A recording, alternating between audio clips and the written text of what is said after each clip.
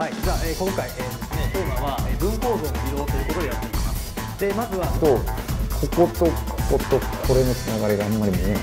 この3つのつながりが見えないんで。今回のポイントは、えー元の形から考えるということで、まずはこの前に書いて、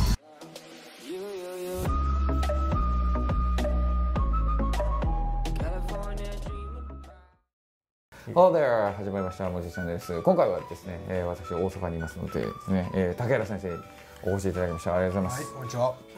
はい、まあまあこのチャンネル見ていただいている方はですねご存知だと思いますが基本的に水曜日に登場いたしますのでで今回の企画なんですけども、えーえーと竹谷先生の授業をそうですあの初の試みですけど私が授業に手こ入れするっていうですねはい。企画企画ですあのいろんなああったら募集しますのであの特にまああんまり大阪とか来れないですけど、えー、とこの自分の塾とか、まあ、関東圏ですね近場であったら、はい、私行って皆様のその授業を見てあのそれをこうしたらいいんじゃないかというアドバイスをするっていう企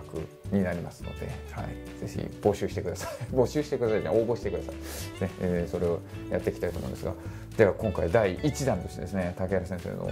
をやっていきまあもう第2弾も撮ったんですけど実はもうすでに。すでに第2弾収録済みなんですが、ねえーどんな方がやるのか楽しみにしていただければと思いますね。では早速やっていきたいと思います。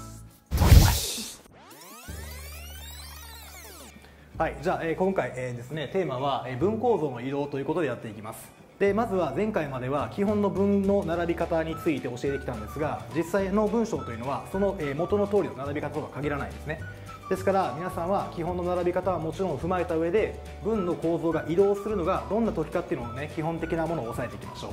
はい。じゃあまずは例題として例えばこの文章を見てください。I was stolen my bicycle. でこの文章を見て皆さんはえー正しく訳せるかもしくは文構造を取れますか？で実際ねやってみると例えば「I は S でしょ」で「was stolen」は V でここに名詞が来てるから「O」だねっていうふうに構造を取った場合は実はこれはですねえー、と訳してみても「私は自分の自転車を盗まれた」って訳が通りそうなんですよね。ですから全部訳だけで構造を片付けるわけじゃなくて実はこの英文結論から言うと、えー、×です。はい、でこれがなぜ×なのかってことをちゃんと理解しておかないと実はこう今日やる内容だけじゃなくて今後やっていく英文法にすごい差し支えが出ますからちゃんと押さえていきましょうね。じゃあ、今回ポイントはこれ。受動体。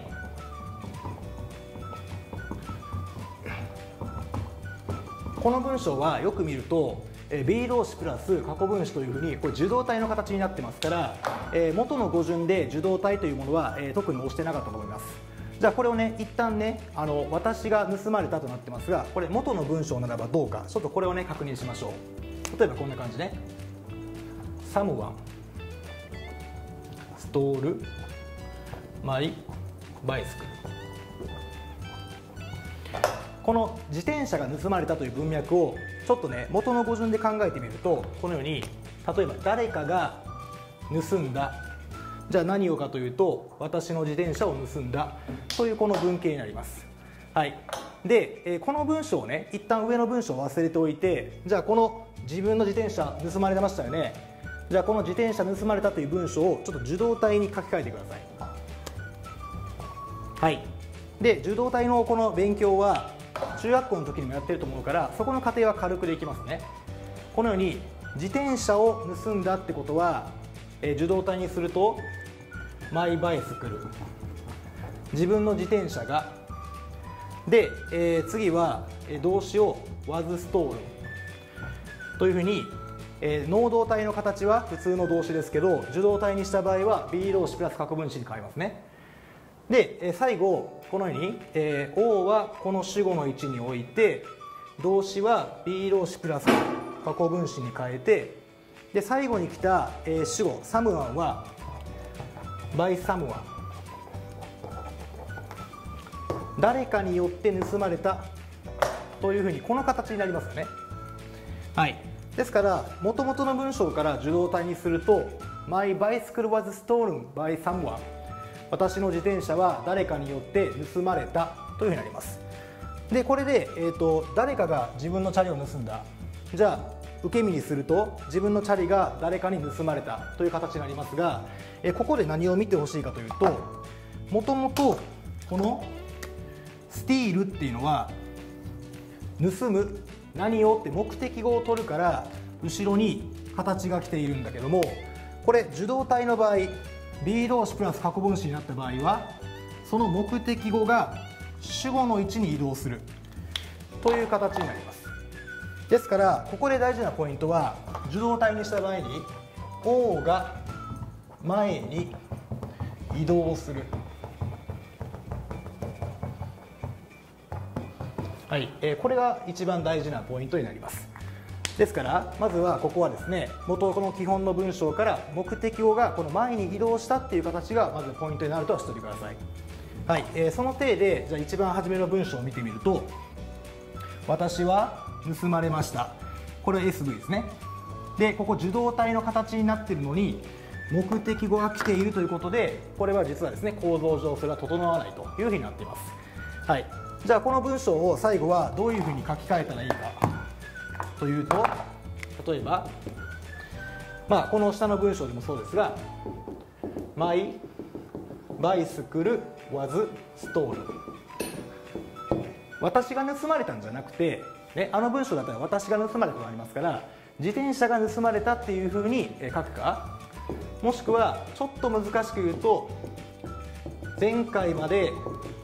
やってきた中の5分岐ですね。はい。I had my bicycle stolen 私は自分の自転車を盗まれたというふうに第5文系で書くこともできます。はい、えこのようにですね元の文章が、えあってそれで文法図を取っていた時にも実はね、えこういった、え文法の移動とかをちゃんと分かっておかないとうまくいかないところありますから、まあ、今回は文法図の移動としてまあ、受動体の時には目的語が前に移動するってことをしっかりと理解しておいて今後に生かしてください。さあさ。ああ別にいいですよ。そのまま僕がいろいろしゃべればいいと思うんで、はい、まず最初のやつが、はい、この